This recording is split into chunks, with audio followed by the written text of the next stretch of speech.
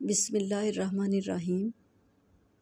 इंसानी सेहत के लिए पानी का इस्तेमाल। पानी इंसानी ज़िंदगी के लिए एक नहायत अहम कुदरती गज़ाई अज्जा है। हमारा जिसम दो तहाई पानी पर मुश्तमिल है। ये काम इंसान के जिसम में पैंतीस से पचास लीटर तक पानी होता है।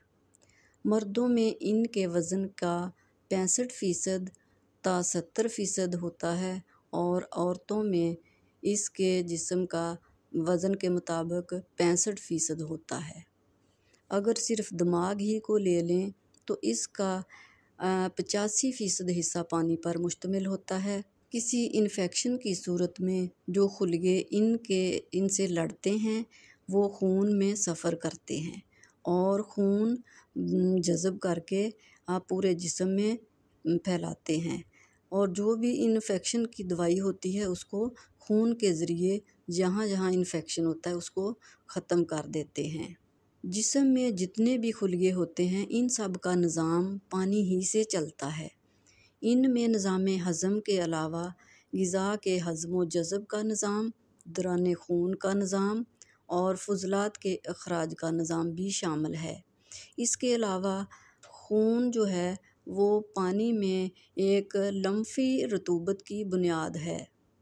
अब हम देखते हैं कि इंसानी जिसम में इसकी अहमियत क्या है।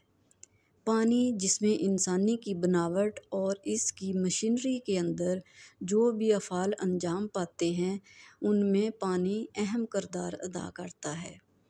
इसकी गैर मौजूदगी जो होती है, वो कई किस्म के अमराज पैदा कर देती है और इंसानी जिसम अपने अफ़ाल अंजाम देने में कमज़ोर हो जाता है। अब हम इनको नंबर वाइज देखते हैं। नंबर एक, ये गज़ाई मादों को बड़ी आंत के ज़रिए ख़ारिज करने में मदद देता है। नंबर दो, खून को माया हालत में रखता है।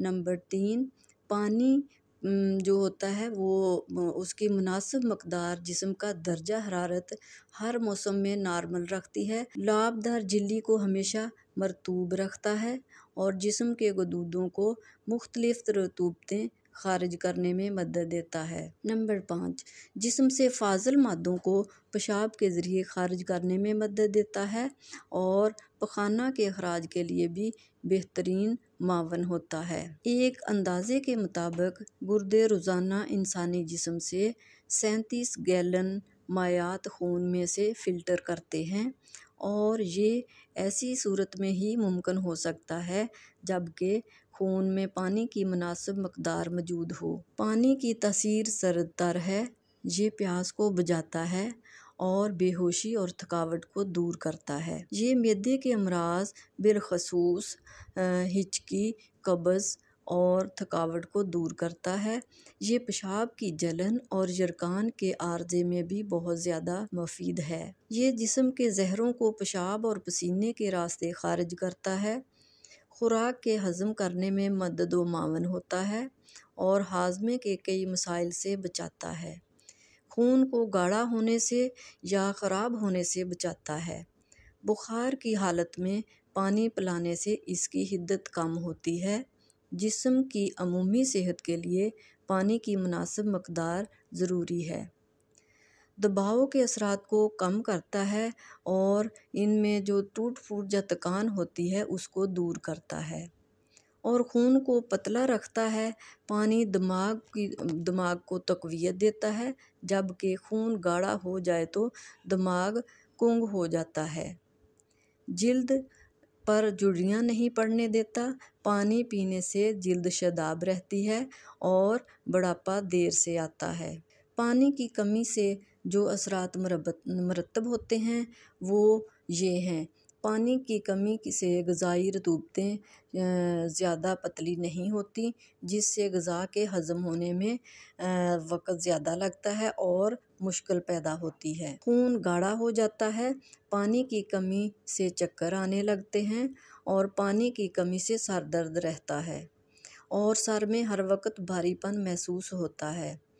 पानी की कमी से थकन और कमज़ोरी हो जाती है और मुँह में खुश्की और भूख कम लगती है। और पानी की कमी से जिसम में डिहाइड्रेशन की सूरत हाल भी पैदा हो जाती है। पानी की कमी से नज़र की धुंधलाहट पैदा होती है और पानी की कमी से नब्ज़ की रफ्तार में इजाफा हो जाता है और सांस फूलता है। पानी की कमी से चाल में लड़खड़ाहट पैदा हो जाती है और इसके अलावा और भी कई अमराज और ख़राबियाँ हैं जो पानी की कमी से पैदा होती हैं। इसलिए कोशिश करें कि हमेशा मुनासब और साफ़ पानी इस्तेमाल करें।